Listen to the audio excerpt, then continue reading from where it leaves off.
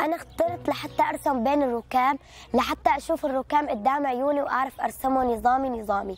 وكمان عم برسم هدول البناية المايلة هلأ هاي البناية المايلة انشهرت كثير في جنديرس مين ما بيوقف هون عم بيصورها وبتصور هيك سيلفي جنبه إيه إيه رسمتها أنا وكمان ليك هون جت الرسامة ورسمتها. أنا اسمي أحمد عبده محمود صانونو عايش في جنديرس أنا عمري 11 سنة وقت اللي صار الزلزال كنت هون وشفت كتير ناس ماتت قدام عيوني وتأثرت كتير كتير في هذا الموقف. وصرت كتير كتير أرسم رسمات عن الزلزال وهيك.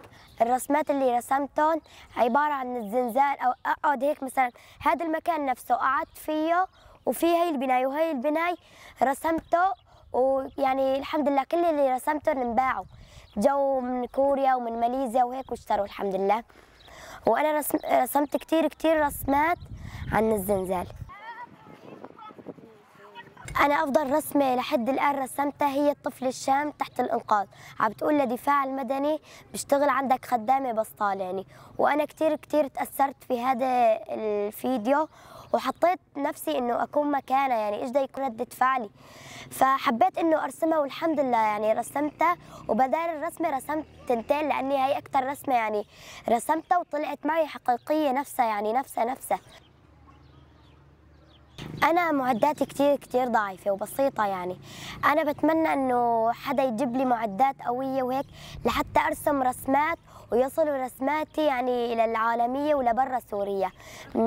مشان إنه هيك يعرفوا شلون نحن بسوريا عانانا والبنايات كلهم قلبوا ومالوا والعالم نصها ماتت يعني يعني نص العالم ماتت قليل لحتى تموا في جنديرس عايشين. حاليا هلأ أنا ساكن بخيمة لكن هاي الخيمة ما يقلنا يعني جايبينها نحن عير يعني استعرناها. إيه ساكنين نحن فيها خي... آه، عيلتين. بتمنى إنه هيك أندعم وأشتري خيمة إن شاء الله وأبرك فيها. رح ساعد المتضررين في الزلزال ولاني هون نحن في جنديرس كثير يعني آه ناس تضررت وبيوتها كلها وقعوا على الأرض ونص العالم ماتت. لو في كان آليات وهيك ومن البداية كان نص العالم يعني كانت عايشة يعني كان نصهم ماتوا ونص عايشين.